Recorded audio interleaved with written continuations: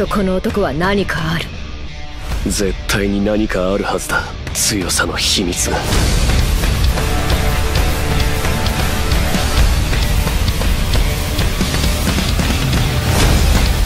先生は誰とも組まない。だが強者を引き寄せる。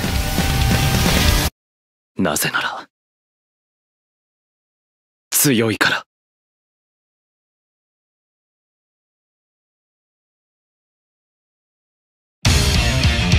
俺はガロー。怪人に憧れて修行し数々の武術道場を潰してきた男だ。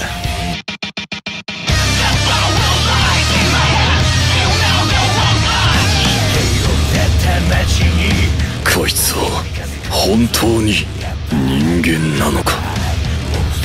俺はカツアゲとヒーロー狩りは見逃さねえって決めてんだ今じゃあいつがどれくらい強くなっとるか想像つかん。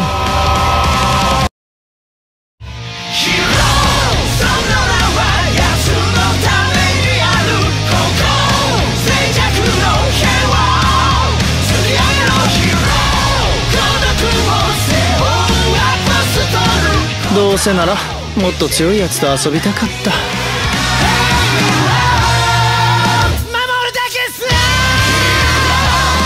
よし。行くか。